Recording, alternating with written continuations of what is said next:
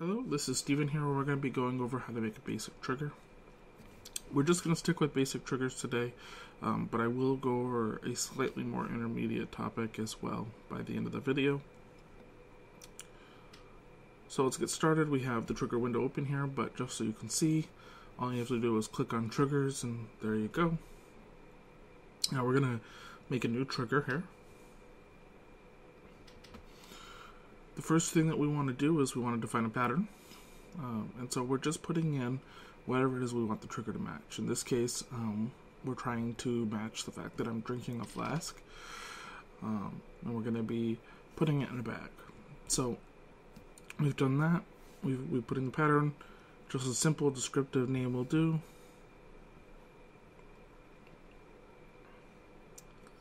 There we go.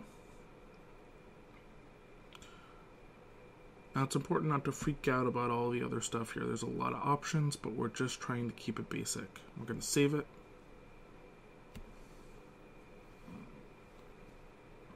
And then we're going to go over here.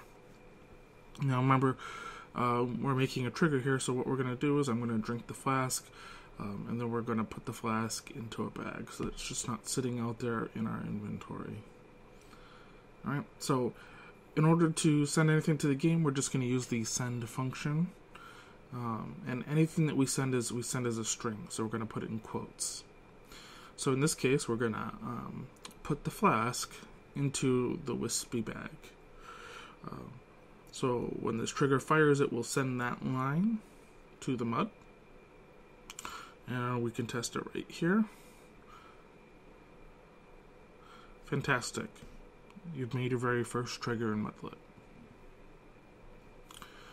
Now, in most cases, uh, you're not, probably not drinking your flask once. Um, you might be drinking it a few times before you want to put it in your bag. So, how do you do that? Well, that gets us onto the topic of um, variables. Um, so, we're going to put a spot here. We're going to be changing this trigger a little bit but we should go over and create the variable first. Now, um, in Mudlet, we can create global variables, um, which is very useful because these variables are active between different triggers and aliases. All right, um, it's helpful to sort of keep these variables managed so you can make a script um, for those variables. Um, however, because these variables are global, it's important um, that you try to keep them grouped up, especially if you're using anybody else's triggers or scripts. Um, so we're just going to do something very simple and put all of these variables into a table called shamaness. Very, very straightforward. Um, so shamaness equals shamaness or blank table, shamaness.drink equals zero. Now we just need to activate it, and now those variables are in the game. They're in Mudlet for us to use. So now we're going to have to go here and modify this slightly. So basically what we're doing is a simple if-else statement. So here we say if my drink variable is less than 3,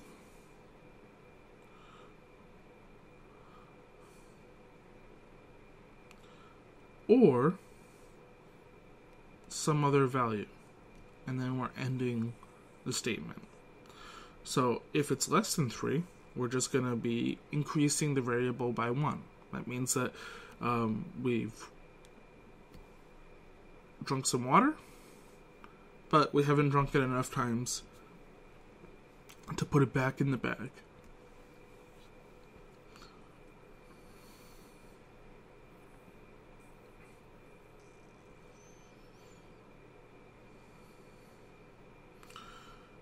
Now, here's the key. When we do drink it enough times to put it back in the bag, we want to reset our variable. So, very straightforward. We're just setting our variable again here, my drink variable, and, um, oops, nope. yeah, there we go. Um, we're, we're just going to sit there and um, set that to zero.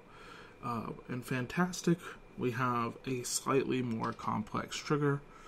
And now, if I get my flask from my bag and I drink it, um, what you'll notice is the very first time it doesn't do anything.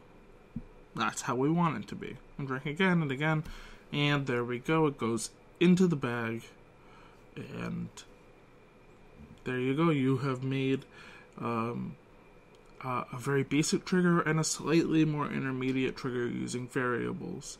Um, and it really didn't take that much effort.